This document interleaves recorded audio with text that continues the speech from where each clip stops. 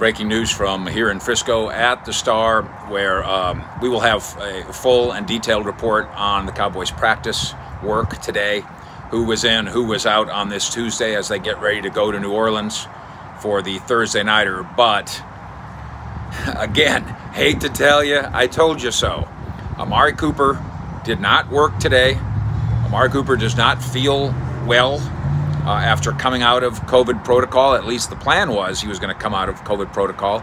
As we sit here now this afternoon, he has not been activated from the COVID protocol list, uh, and he was not a participant in practice. That doesn't mean that things can't change in a hurry. They certainly can. Uh, he could theoretically work out, feel good, pass whatever tests need to test uh, pass on Wednesday, and play on Thursday. Uh, that certainly is what he wants. Uh, that certainly is what the Cowboys need.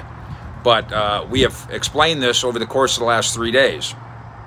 Um, there, there was always a hope and always an assumption, but there was never a guarantee that the player comes out of the two games that are required because of the 10 day window that he was involved in, and then automatically on day 11, everything's fine. That's not the way COVID works. That's not the way the NFL works, and that's not what's happening here yet. We will keep you posted on what's going on with Ezekiel Elliott at practice, CeeDee Lamb at practice. There is defensive line news as it relates to Brent Urban, uh, Tank Lawrence, and Sir Neville Gallimore. And we'll bring all that to you at Fish at 6 on a Tuesday night in Frisco, live uh, on the Fish Report. We invite you to join us and uh, thank you for subscribing to what we do here, going for 40,000 strong in Cowboy Nation here in the next couple days. Come be a part of it. Fish out.